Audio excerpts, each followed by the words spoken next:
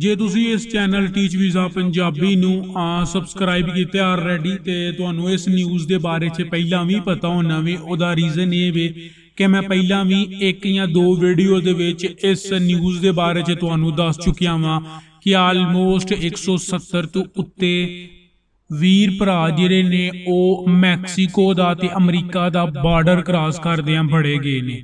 170 ਤੋਂ ਉੱਤੇ ਬੰਦਾ ਵੇ।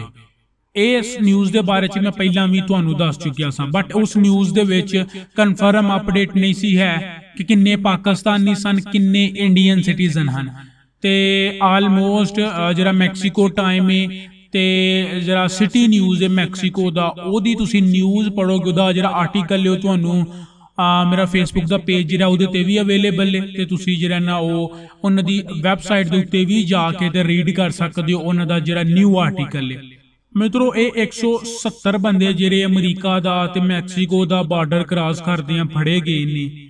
ਇਹਨਾਂ 170 ਬੰਦਿਆਂ ਦੇ ਵਿੱਚੋਂ ਆਲਮੋਸਟ ਕੋਈ 40 ਬੰਦੇ ਜਿਹੜੇ ਨੇ ਉਹ ਪਾਕਿਸਤਾਨੀ ਸਿਟੀਜ਼ਨ ਨੇ, ਏਸ਼ੀਅਨ ਨੇ।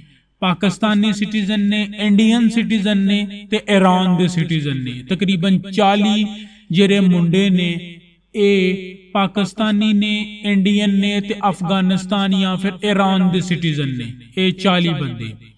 ਇਹਨਾਂ ਨੂੰ ਮੈਕਸੀਕੋ ਦੀ ਜਿਹੜੀ ਆਪਣਾ ਬਾਰਡਰ ਪੁਲਿਸ ਸੀ ਉਹਨੇ ਫੜ ਲਿਆ ਸੀ ਤੇ ਇਸ ਟਾਈਮ ਉਹ ਜਿਹੜਾ ਨਾ, ਉਹ ਮੈਕਸੀਕੋ ਕਿਸੇ ਜੇਲ੍ਹ ਦੇ ਵਿੱਚ ਨੇ, ਜਿਨ੍ਹਾਂ ਨੂੰ 6-6 ਮਹੀਨਿਆਂ ਦੀ ਸਜ਼ਾ ਹੋਈ ਏ। 6 ਮਹੀਨਿਆਂ ਦੀ ਸਜ਼ਾ ਤੋਂ ਬਾਅਦ ਜਿਹੜਾ ਨਾ, ਉਹ ਡਿਸਾਈਡ ਹੋਏਗਾ ਇਹਨਾਂ ਦੇ ਫੈਸਲੇ ਦੇ ਉੱਤੇ, ਇਹਨਾਂ ਨੂੰ ਕੰਟਰੀ ਪਾਸ ਦਿੱਤਾ ਜਾਵੇਗਾ। ਜਾਂ ਫਿਰ ਇਹਨਾਂ ਨੂੰ ਜਿਹੜਾ ਨਾ ਉਹ ਡਿਪੋਰਟ ਕਰ ਦਿੱਤਾ ਜਾਏਗਾ। ਬਹੁਤੇ ਚਾਂਸ ਇਸ ਟਾਈਮ ਇਹ ਲੱਗਣ ਦੇ ਨੇ ਕਿ ਇਹਨਾਂ ਨੂੰ ਡਿਪੋਰਟ ਕਰ ਦਿੱਤਾ ਜਾਵੇਗਾ ਕੰਟਰੀ ਪਾਸ ਨਹੀਂ ਦਿੱਤਾ ਜਾਵੇਗਾ। ਉਹਦਾ ਰੀਜ਼ਨ ਇਹ ਵੇ ਕਿ ਹੁਣ ਪਿੱਛੇ ਤੁਸੀਂ ਪਨਾਮਾ ਦੇ ਸੈਂਕੜ ਕੈਂਪ ਦੀ ਗੱਲ ਕਰਦੇ ਹੋ, ਦੂਜੇ ਕੈਂਪ ਦੀ ਗੱਲ ਕਰਦੇ ਹੋ, ਜਾਂ ਫਿਰ ਵੈਨਜ਼ੂਏਲਾ ਦੀ ਗੱਲ ਕਰਦੇ ਹੋ, ਉੱਥੇ ਵੀ ਹੁਣ ਤੁਹਾਨੂੰ ਐਡਾ ਸੌਖੇ ਤਰੀਕੇ ਦੇ ਨਾਲ ਕੰਟਰੀ ਪਾਸ ਨਹੀਂ ਲੱਭਦਾ। ਪਹਿਲਾਂ ਕੰਟਰੀ ਪਾਸ ਬੜਾ ਹੀ ਸੌਖਾ ਲੱਭ ਜਾਂਦਾ ਸੀ ਬਟ ਹੁਣ ਨਹੀਂ ਲੱਭਦਾ ਹੈ।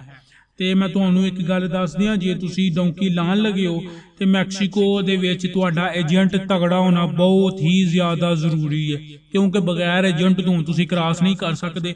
ਜੇ ਤੁਸੀਂ ਫੜੇ ਜਾਂਦੇ ਹੋ, ਤੁਹਾਡੇ ਕੋਲ ਪੈਸੇ ਵੀ ਲਿੱਲੇ ਜਾਂਦੇ ਨੇ ਤੇ ਉਸ ਤੋਂ ਬਾਅਦ ਜਿਹੜਾ ਨਾ ਉਹ ਤੁਹਾਨੂੰ ਡਿਪੋਰਟ ਵੀ ਕਰ ਦਿੱਤਾ ਜਾਂਦਾ ਵੇ। ਤੇ ਇਸੇ ਲਈ ਬਗੈਰ ਏਜੰਟ ਤੋਂ ਹੁਣ ਰਿਸਕ ਨਾ ਲਿਓ ਜੇ ਤੁਸੀਂ ਆ ਪਾਕਿਸਤਾਨ ਦੇ ਵਿੱਚ ਤੁਸੀਂ ਡੌਂਕੀ ਲਾਣ ਦੇ ਹੋ ਜਾਂ ਫਿਰ ਇਸ ਟਾਈਮ ਤੁਸੀਂ ਕਿਸੇ ਹੋਰ ਮੁਲਕ ਦੇ ਵਿੱਚ ਤੁਸੀਂ ਡੌਂਕੀ ਲਾਣ ਦਾ ਸੋਚਣ ਦੇ ਹੋ। ਤੇ ਜਿਹੜਾ ਨੂੰ ਤੁਸੀਂ ਤਗੜਾ ਏਜੰਟ ਹਾਇਰ ਕਰਿਓ ਬਗੈਰ ਏਜੰਟ ਤੋਂ ਐਂਟਰੀ ਨਾ ਲਿਓ, ਡੌਂਕੀ ਵਾਲਾ ਸਿਸਟਮ ਨਾ ਲਾਇਓ। ਮਿੱਤਰੋ, ਥੱਲੇ ਕਮੈਂਟ ਬਾਕਸ ਦੇ ਵਿੱਚ ਜ਼ਰੂਰ ਦੱਸਿਓ ਆਪਣੀ ਰਾਏ ਬਾਰੇ। ਆਪਣਾ ਕਮੈਂਟ ਕਰਕੇ ਜ਼ਰੂਰ ਦੱਸਿਓ ਅਮਰੀਕਾ ਦੀ ਡੌਂਕੀ ਦੀ ਅਪਡੇਟ ਦੇ ਬਾਰੇ ਚ, ਤੁਹਾਨੂੰ ਵੀ ਕੋਈ ਪਤਾ ਹੈ। ਚੈਨਲ ਨੂੰ ਸਬਸਕ੍ਰਾਈਬ ਨਹੀਂ ਕੀਤਾ ਤਾਂ ਚੈਨਲ ਨੂੰ ਮਿੱਤਰੋ ਕਰੋ ਸਬਸਕ੍ਰਾਈਬ। ਮਿਲਨੇ ਆ ਤੁਹਾਨੂੰ ਨੈਕਸਟ ਵੀਡੀਓ ਤੇ। ਰੱਬ ਰੱਖਾ।